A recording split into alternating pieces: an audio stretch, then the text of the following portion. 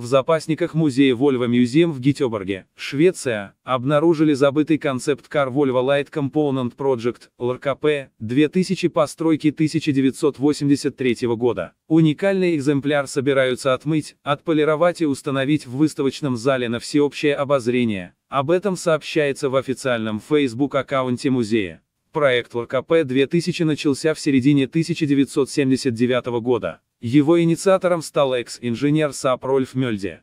При разработке этой машины была поставлена цель сделать легкий и компактный автомобиль, средний расход топлива у которого не превышал бы 4L, 100 км, немыслимый показатель для того времени. Выпустить такую модель предполагалось к 2000 году, что и отражено в названии. Первоначально инженеры и вовсе хотели сделать ЛКП-2000 чистым электромобилем, но ввиду несовершенства технологий того времени от этой идеи быстро отказались. Тогда для проекта разработали два трехцилиндровых турбодизеля, один объемом 1,3 литра и мощностью 50 литров, с блоком из легкого магниевого сплава, второй – чугунный 1,4 литровой мощностью 90 литров, без отдельной системы охлаждения, тепло от головки блока цилиндров отводило моторное масло. Второй ДВС был способен переварить почти любое топливо, в том числе рапсовое масло, в этом случае выхлоп по запаху напоминал рыбу с жареным картофелем.